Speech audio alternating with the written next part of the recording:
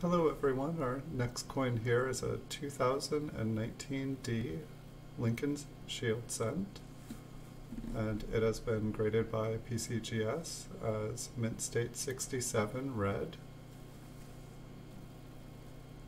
We'll take a look at the reverse first because it's on the front of the PCGS slab.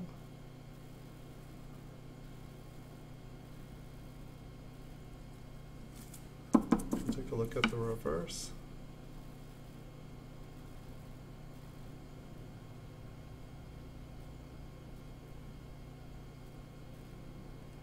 And if you're wanting to sell your coin, if you have this coin in a PCGS slab, follow the link in the description of the video and it'll bring you to this listing on eBay and you can make a similar listing to mine, use it as a template.